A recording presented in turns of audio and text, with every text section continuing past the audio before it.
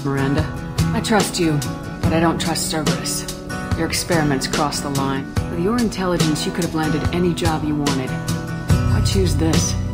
Because I still envy the time Mordin spent with the Special Tasks Group, working with people as smart as he was. Cerberus never tells me that something is impossible. They give me my resources and say do it. I'll follow Shepard's orders. I don't have patience for incompetent.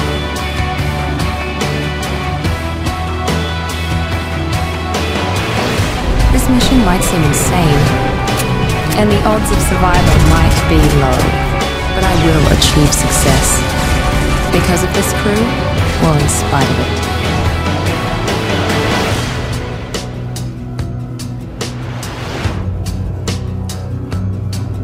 My father got me the best genes money could buy.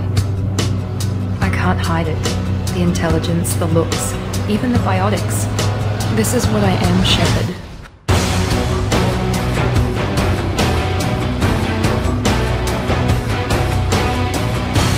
You're not firing yet, I trust you know who I am.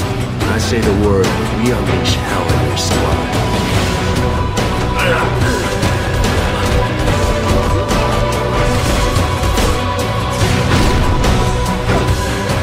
Every one of your accomplishments is due to your skill. The only things I can take credit for are my mistakes. You're not coasting on good genes, Miranda. Your ability and your dedication speak for themselves. Thank you, Commander. To earn my trust.